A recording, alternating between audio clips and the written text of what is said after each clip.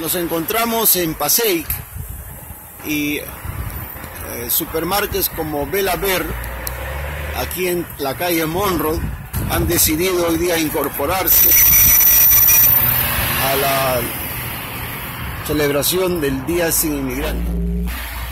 Este local normalmente está abierto todos los días, pero hoy decidió cerrar. Jueves 16 de febrero estará cerrado Belaver, unámonos al poder, apoyémonos. Vamos a visitar otros negocios. Aquí en Lexington Avenue de Alamo Western Store también cerró hoy día en apoyo a el Día Sin Inmigrantes. En esta calle, en la Lexington, que es la número uno, hay otros uh, establecimientos, casi todos han cerrado podemos apreciar dos restaurantes mexicanos juntos, eh, un salón de belleza que es de dominicanos también cerrado, en la esquina también hay un lugar de envíos mexicano que ha cerrado. Ahí se puede apreciar y también en la esquina un restaurante mexicano cerrado. Vientos de 20 millas por hora acompañan hoy al Día Sin Inmigrantes aquí en Monroe Street en Pasey. Eh, muchos negocios mexicanos se encuentran cerrados, se puede apreciar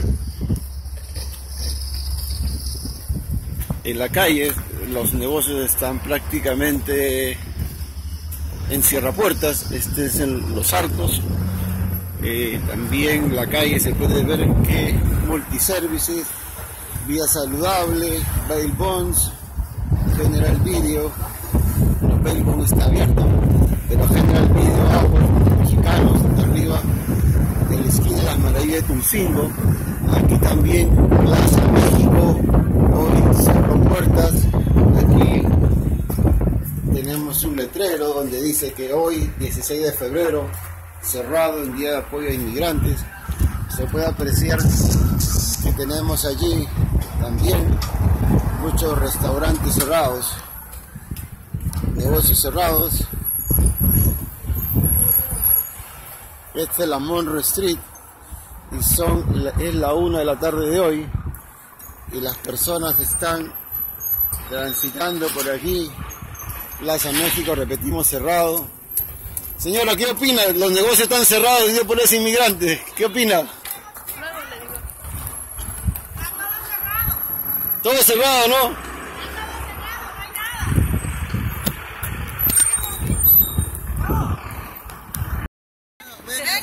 Nos encontramos aquí en la Monroe Street, hoy jueves 16 de febrero, una de la tarde.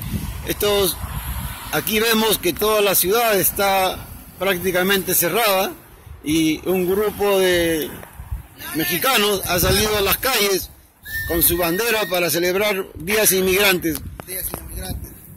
Cuéntenos, ¿por qué se animaron a salir a las calles? Aquí protestando para que vean los estadounidenses que nosotros los mexicanos este, somos los que trabajamos más y todos, no todos los mexicanos, sino que todos, ¿verdad?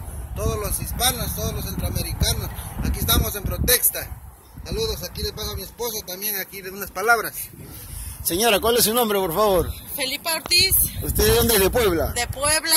Y dígame, ¿Hoy día puedo comprar algo o no? No, no vamos a comprar nada. Estamos apoyando la causa para que el señor presidente Donald Trump se dé cuenta de que somos los hispanos, los inmigrantes, los que hacemos de esta nación grande y que tengan, yo invito a todos que tengan el valor de pararse, de que se unan, nos unamos por una causa buena y esperemos si el señor presidente se toque el corazón y pare las deportaciones. Hay mucha gente sin hogar, mucha gente, em, triste, desesperada, porque no sabe qué hacer.